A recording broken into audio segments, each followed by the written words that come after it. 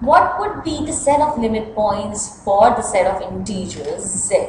Okay, what will be the set of limit points? Just think about it. Now, so what we can do, we can just pick up any random real number. So, let x be some real number. Okay. Now, we want to check whether x is a limit point for z or not. Okay. x is a limit point for z or not. Now, for x to be, for x to be the limit point, limit point of z. Okay. What do we require? We require that what we must have, we must have that that for any delta, for any delta greater than 0, the neighborhood, the neighborhood, the delta neighborhood of x, okay, which is the interval, the interval x minus delta and x plus delta, okay. This interval, this interval would contain, would contain some point in z, some point in z, okay, other than x, other than x. x anyways, I'm just taking it to be any real number. It might be an integer, it might not be an integer, okay. So, now, what do we know? We know that x is any real number. x belongs to R. Now, we know something about the properties of R.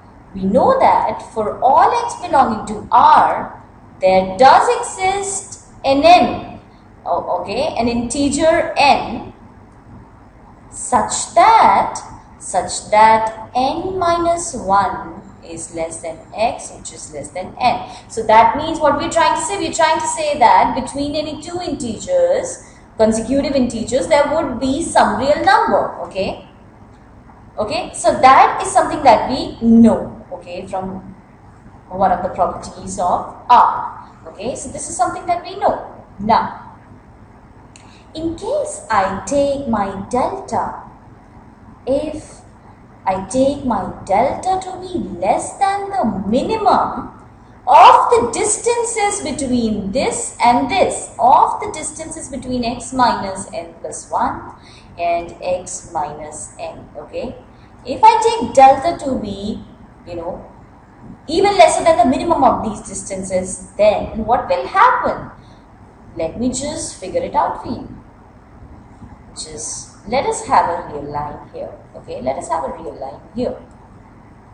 You can have integers 1, 2, 3, 4, so on and so forth on the negative side as well. Okay, now just see what we're trying to say. Say your x lies here okay say your x lies here so what we're trying to say that the property of real number says that between 1 and 2 there will be a real number at least one real number so this becomes my n minus 1 this becomes my n this becomes my n minus 1 this becomes my n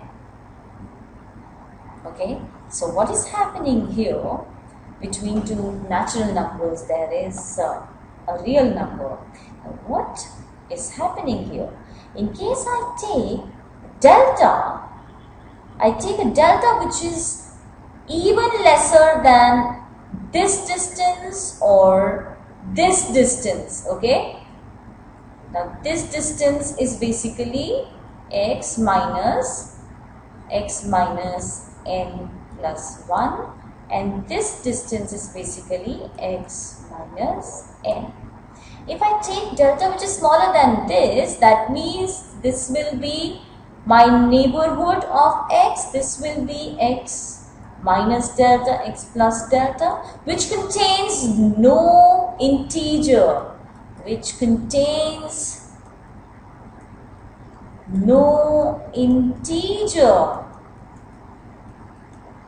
okay so this will happen for because x is arbitrarily chosen so this will happen with each and every uh, real number in between out here. So therefore, the set of cluster points for the set of integers z is the null set. You do not have any cluster points for intervals in integers.